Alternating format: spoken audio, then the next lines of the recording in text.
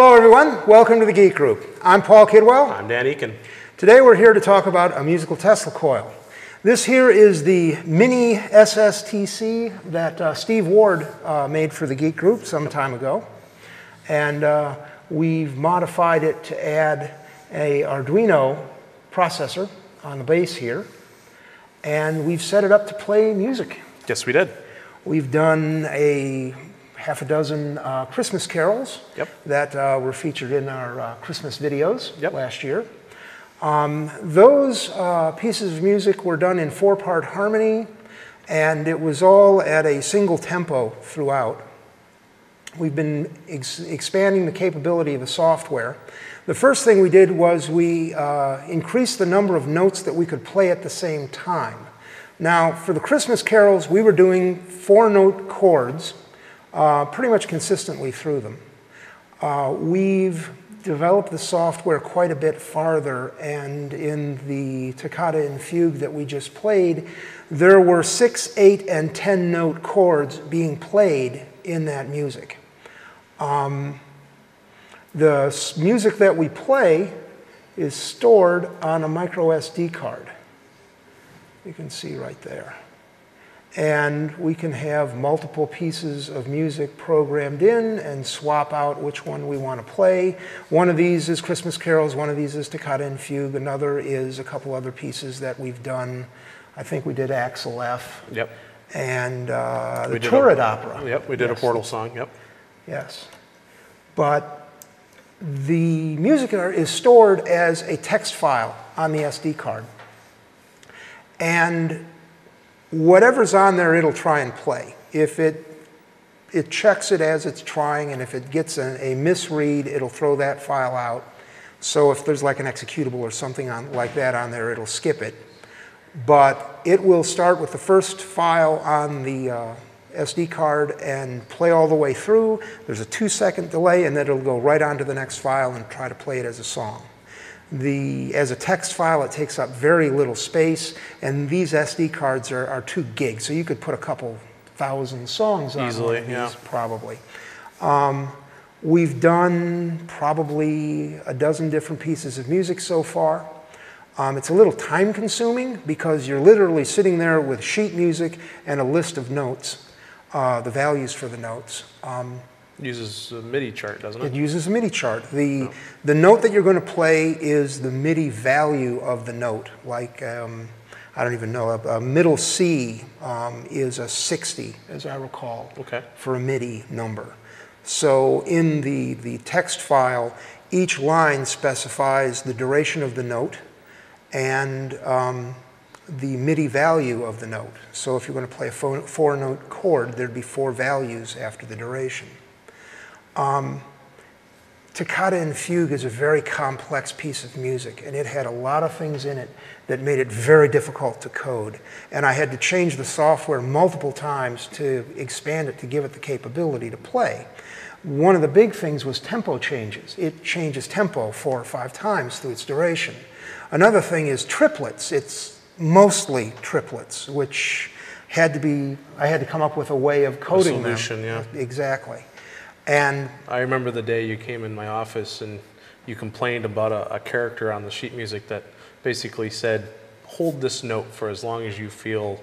Oh God, is- yes. is I don't even. I don't remember what it is. It's got some name in Italian, I think. I'm not sure. I don't want to know because that was horrifying. Everything else was very set, mathematical. There's an answer. There's a solution. This is what you need to do, and this is what you can do. Yeah, music is supposed to be mathematical, but Yes. that was very organic. It was a. It was. It was a curve with a dot over the top of it, and it basically meant hold the note till it sounds good. Computers are a little rough at figuring that part out, so I kind of had to wing it as I was programming it. Did you select a, a set duration, or did you give it a random number? Or? No, I just played it and no, it needs to be a little longer, so I Oh, tweaked the text file and text played it again. Yeah, and, like, yeah, and it just it took the better part of a day to get it the way it's sounding. Sure. But that's all been implemented. The playing a 10 note chord on a single coil, I don't think anybody has come anywhere close. I remember reading an article. A gentleman was playing two notes from the same coil, and he has an Instructables about it. I've, okay, I've, I've seen somebody who used three separate processors and doing kind of a wired OR, but the three processors could walk over each other, and he was having trouble where the music would get muddy as you added in more Sure. and more co- chords. Um, I'm doing this all in software, and eventually we're going to do a video that explains exactly how I did that. Until then, uh, can we release uh, information about how to write the text files? Oh, absolutely.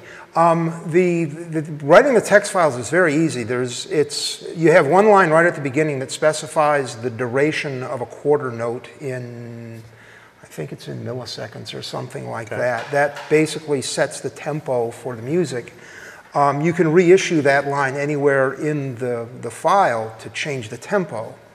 Um, and aside from that, it's uh, duration in, um, let's see, duration followed by the notes that you're going to play.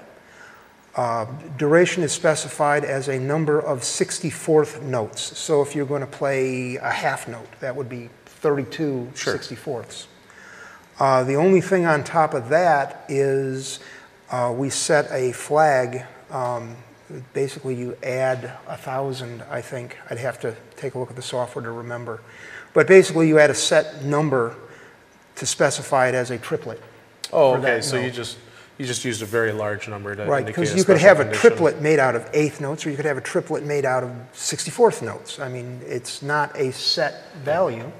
So I had to have a way of preserving the duration of a non-triplet note and then say, okay, yeah, it says it's a 16th note, but it's really, those three notes together are a triplet. So basically, you just set the flag on those three notes to specify a triplet. And Toccata and Fugue is all triplets. Um, that was a bit of a nightmare figuring it out because until then I had no way of coding that and I could not Yeah. make it sound right. But um, we'll publish a document that shows how to take sheet music and convert it over to a text file that we can play. Ultimately, what we want to be able to do is have a Ethernet shield on an Arduino so you could browse to it and upload a file and have it play as the coil is setting in the uh, cafeteria. here. Have a little webcam set up nearby and Exactly. Yeah. Uh, that's the Smiljan project that Yep. we're still working on. This, this was done completely as a- an experiment to see if we could do it.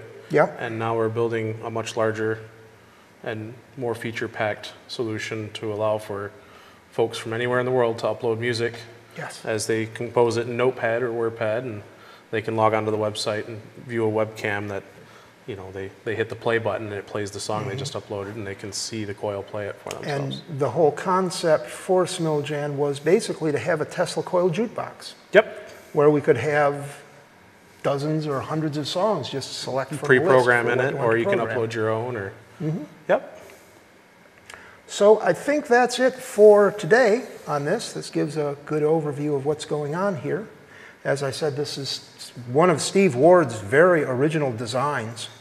Um, to show how old it is, he's got a, um, what is it, a 7414 buffer in there, and he's got all six of them wired in series, which I know one of his more recent uh, schematics, he dropped four of them out, so there's just two in series. Yep. So this is fairly old, and we've retrofitted it with some fairly new technology here to give it capability far beyond what it was before.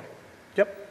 So, well, that's it for today. I'm Paul Kidwell. I'm Dan Eakin. Please remember to rate, comment, subscribe, and donate, and we'll catch you later. This video was made possible by a grant from the Future Girl Foundation. This video was made possible by thousands of private donations from members and viewers like you. Please visit thegeekgroup.org for more information on how you can donate and become a part of our dreams of Avalon.